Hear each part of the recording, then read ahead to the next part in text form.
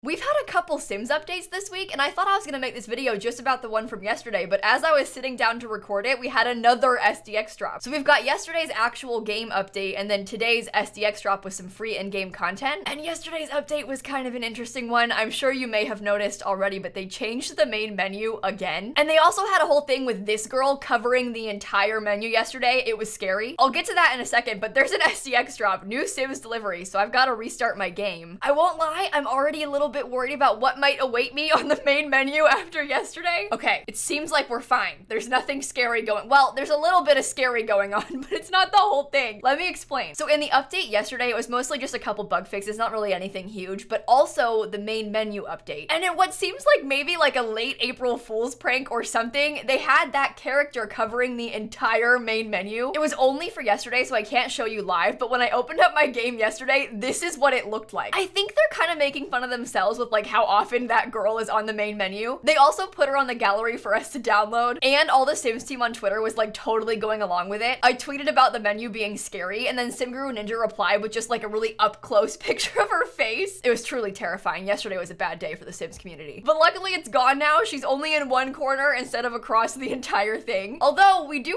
have a new menu, so let's talk about that. So as you can probably tell, they've changed just this sidebar here on the main menu. Usually menu changes are not met with very much excitement from the community. People usually hate this kind of thing, and I don't blame them. Change is scary. I'm not sure about this. I don't think I hate it as much as I've hated some of the other menu changes they've done. Like when this menu style came out originally, I was horrified. I thought it was so bad. I don't dislike it anymore. I kind of miss it now. But I will say, it looks like they're doing a lot to make the menu options a lot more obvious. I think that's been true of like all of the past menu updates. They're just trying to make it more clear what all the buttons are and what you can do with them. So instead of having just that big play button as a resume button, we now have like a proper one that says resume and also shows off the last sim you played with. And they have like a little text box that's kind of funny most of the time underneath it. So it just makes it a little bit more clear what that resume button is. And it also makes like the load game and new game options more obvious. I think that's important because you would be so surprised to know how many people don't even know you can have more than one save. That big play button almost looks like it's the only thing you could do. And even that was an improvement. Back when the game first came out, there was like a little button up in the top right corner, like a little tiny plus sign, and that was how you made new saves. And so many people didn't even know you could do that. So many people in my comments, in my Twitch chat being like, how do you have your Sims like that? Like, where are your other ones? Had no idea you could make a second save. So while I don't know if I love the look of this main menu, I kind of wish the buttons were like more clearly buttons. I don't know how to explain it. I just, I don't know if I vibe with this style. I do appreciate them doing things to make the menu options more clear to new players. It's not a good sign when like the menu is confusing to people that are trying to play your game, right? So I think that doing anything they can to make it more obvious to players is always a positive. I've also seen a few people talking about how they're annoyed that they're spending time working on the menu and not working on like other game updates. I will say, it's not like the whole team took aside like weeks and weeks to work on this. You know, it's probably a small group that made this. I wouldn't look at this as taking away from other game content. Like, I just, I don't think that's an issue at all here. And like I said, if people think it's confusing, even if you don't think it's confusing, they obviously had a reason to update it. And trust me, from my comments, I can tell you they had reason to update it. I don't think it's a bad thing. Although, again, I'm not sure if I like how it looks. I do like the sim though. I think that part is cool. But she's kind of like bad quality. Can you tell? It's sort of odd. She's all pixely, nothing else is. I don't know. I don't know. I'm not gonna nitpick it too much. That was pretty much the main thing in the update yesterday. They also had, like I said, a few bug fixes, but not any like super notable ones, I didn't think. I always link the patch notes for you, so I'll have them linked down below in case you want to read them, but but it wasn't a super big patch. You can tell there's not a huge long list of fixes. But we also have that SDX drop from today, and this one I think is a little bit more exciting, although I guess, you know, a menu change is a kind of big deal, but the SDX drop has free stuff, so that's more fun. There is one new scenario. This one is a limited time one called Frog Fanatic. Frog fact number one, frogs can't eat and keep both their eyes open at the same time, okay? And the description says, a sim is frantically trying to gather all the frog facts of the world. After all, frogs are ribbiting creatures that can be used for a whole slew of things, even breeding. This frog fanatic totally cannot wait, get it?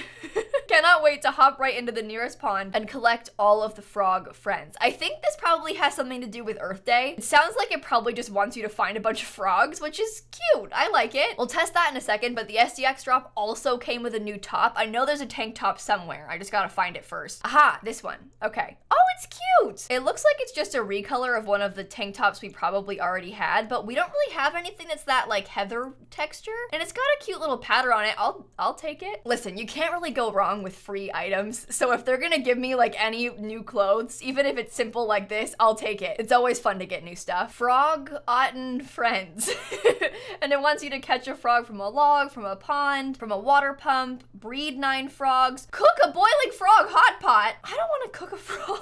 Fish while using a frog as a bait, catch or breed eight unique common frogs, catch or breed six unique uncommon frogs, and catch or breed four unique rare frogs. So it really just wants you to walk through all of the frog gameplay. That's kind of fun. I mean, I don't know if I'm gonna do this scenario because I, I play with frogs a lot, actually. Kind of a surprising amount. Frogs are a great way to make money in this game. Like, breeding frogs, super useful. But I wouldn't be surprised if a lot of players had no idea you could even do any of these things, and I think that's probably like the highlight of scenarios is sort of encouraging you to play in a different way. And how many of us would do an entire save entirely based on frogs? Probably not many of us. I mean, maybe me, considering how I play with Stanley. I do a lot of weird things with him. Perhaps a get rich quick using only frogs. I might I might actually do it to be honest with you. it sounds like fun. Maybe I will play this scenario. But it's cool because you might not have known that you could do any of these things, so I think it's a fun way to introduce you to new gameplay. Speaking of new gameplay, the scenario also comes with two new food items your Sims can cook. I don't know what skill they require, so I'm gonna check. Not a skill that Stanley has, that's for sure. They're not unlocked yet. Eh, I'll just max it. So there's two new Arab recipes they added. One of them is level three. This. This well-known Arab savory pastry can be enjoyed as a snack or appetizer. I love when they do this this. It's such a small thing to like add more food to the game. What are you doing? Keep cooking it. I want to see it.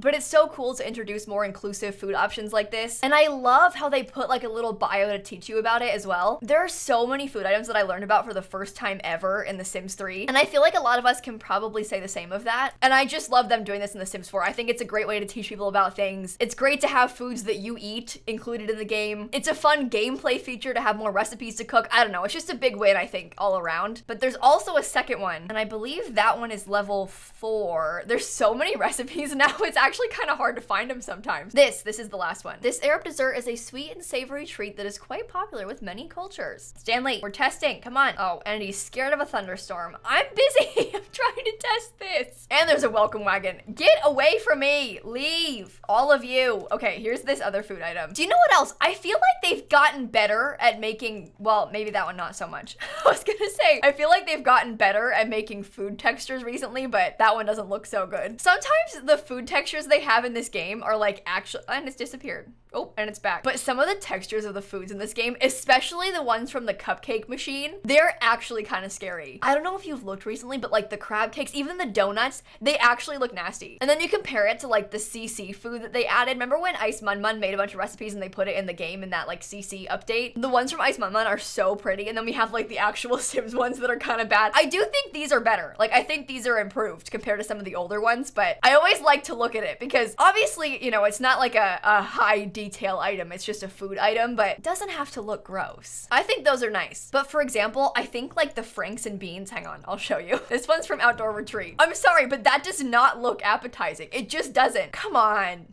Come on. Do you want to eat that? No. No, I do not. Okay, there is one last thing in the SDX drop though. Let me get some more lights. It's dark in here. They also added this new base game plant. This is so cute. And the swatches are good. Look at that one. How does it look in the dark?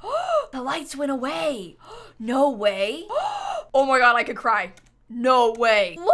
It actually blooms at nighttime. That's so cool. This plant costs 120 simoleons. Behold the beauty of this pretty prickly cacti that just goes to show that some of the prettiest of things can come from the darkness. Whether outdoors or in, this desert beauty is sure to brighten up even the darkest night. That is such a fun item. This SDX drop is actually great. They covered all the bases. We got cast, we got gameplay, and we got build mode. I know it's just like a couple small things. It's just like a couple recipes, a tank top, and a plant, but it's a free update and they're all good. Like they're all cute and all good. I love the SDX drops they're doing recently. I never have like anything to complain about. It's so fun to just like surprise get a couple new cute items. And I'm sincerely obsessed with this cactus. I think that is so cool. I'm gonna use that all the time. Oh, look at that. One minute ago, they tweeted about it. Was I right? Did I find all the things? Tank top, food, cactus, and the scenario? It looks like I did. So I believe with that, we've covered both updates this week. Two of them. We got two. They weren't huge. They were two small updates updates, but still, it's an update. Watch out for that scary sim, okay? I'm I'm genuinely concerned they're gonna throw her at us again in some creepy way, but I guess if you want to download her, she is on the gallery. Her name is Kalia Maybe. Call call me maybe. Lovely traits, high maintenance, erratic,